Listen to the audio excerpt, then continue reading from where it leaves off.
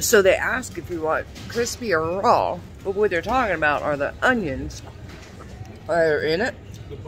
So, uh, yeah, quite interesting. Uh, It's not the hot dog that's raw, it's the bun that's raw. it's like a, it's a lamb pork mix. Very good.